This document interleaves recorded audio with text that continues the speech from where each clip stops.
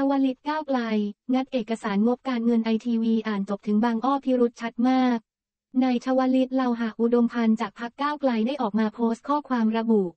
งบการเงิน สบช 3 ที่ไอทีวีส่งให้กรมพัฒนาธุรกิจการค้า เป็นการรายงานที่เป็นเท็จ ผมอยากชวนทุกท่านมาร่วมพิสูจน์ไปด้วยกันครับ งบการเงิน และหมายเหตุประกอบงบการเงิน ของบริษัทไอทีวีปี 2565 ทั้งหมด 33 หน้า ถูกคณะกรรมการบริษัทอนุมัติให้ออกงบเมื่อวันที่ 24 กุมภาพันธ์ 2566 และนำส่งสำนักงานคณะกรรมการกำกับหลักทรัพย์และตลาดหลักทรัพย์กลตผมได้แนบเป็นภาพมาในโพสต์นี้แล้ว ทุกท่านสามารถเข้าไปโหลดมาดูได้ด้วยตาของทุกท่านเองในเว็บไซต์ของกลตในลิงก์ด้านล่างได้เลยครับ ว่ามีคำว่า สื่อโทรทัศน์ หรือ กิจกรรมการเผยแพร่ภาพยนตร์วีดิทัศน์และรายการโทรทัศน์ หรือข้อความที่สื่อความหมายว่า ยังดำเนินกิจการอยู่บ้างไหม นี่คือเอกสารที่เกิดขึ้นในช่วงเวลาปกติ ก่อนที่จะมีกระบวนการพยายามฟื้นคืนชีพไอทีวีให้เป็นสื่อหลังจากวันประชุมผู้ถือหุ้นวันประชุมผู้ถือหุ้นวันที่ 26 เมษายน 66 ประธานในที่ประชุมยังตอบคำถามปกติ ดูจากในคลิปที่ตอบว่า ตอนนี้บริษัทยังไม่มีการดำเนินการใด ๆ รอผลคดีความให้สิ้นสุดก่อน อย่างที่เราทราบกันแล้ว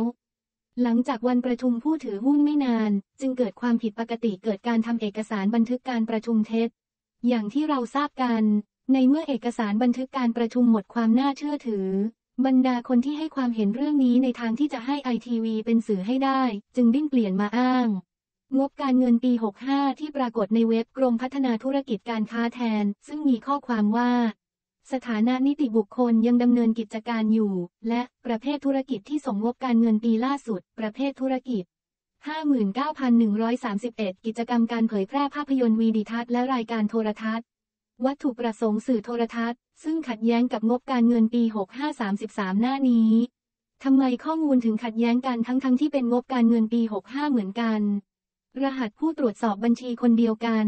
นั่นเพราะการส่งข้อมูลงบการเงินให้กรมพัฒนาธุรกิจการค้า เกิดขึ้นในวันที่ 10 พฤษภาคม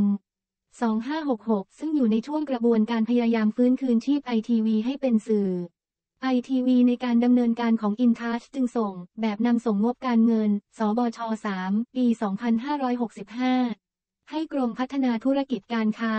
โดยมีข้อความเกี่ยวกับสถานะการดำเนินกิจการ และประเภทธุรกิจขัดแย้ง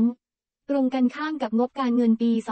2565 ที่อนุมัติในวันที่ 24 กุมภาพันธ์ 2566 และปรากฏในเว็บไซต์ของกลตสรุปแบบนำส่งงบการเงิน สบช 3 ที่ไอทีวีส่งให้กรมพัฒนาธุรกิจการค้า จึงเป็นการรายงานที่เป็นเท็จ ลิงก์ดาวน์โหลดงบการเงินปี 2565 จากเว็บไซต์กลต คลิก